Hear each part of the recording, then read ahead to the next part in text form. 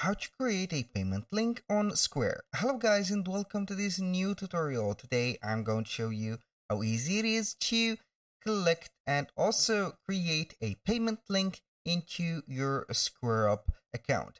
So all you need to do is to follow up the tutorial from the beginning to the end and you are going to be good to go. The first thing that you need to do is to head over squareup.com. So once you are here, sign in into your account. And here, as you can see, we are on the dashboard of our Square.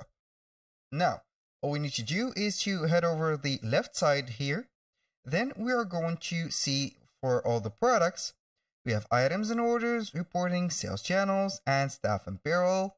And here we have payments. We are going to click on payments and here we have a drop down menu.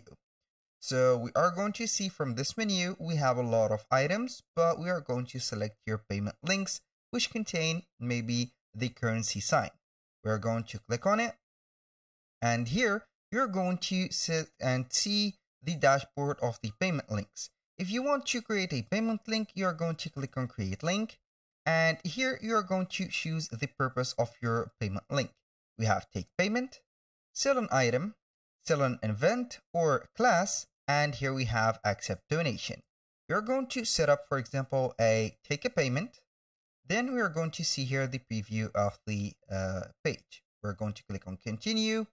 Now we have the details. You can put the title of the uh, right here, the purpose. You can put here any amount or an exact amount if it is a payment, for example, for $100. Uh, here for the frequency, you are going to put it here uh, for one time, or you can put it recurring for weekly, uh, monthly, quarterly, twice a year, or annually. You can put a description. Also, you can add a upload or upload an image for the here decoration. We are going to upload an image. We are going to put this image like that. So we are going to zoom in a little bit and put it as a cover. So you can go ahead and put the uh, name of your service right there and it will put up right here. So you can put here some custom fields. You can add some fields title. For example, here we are going to put name and here we are going to put uh, last name.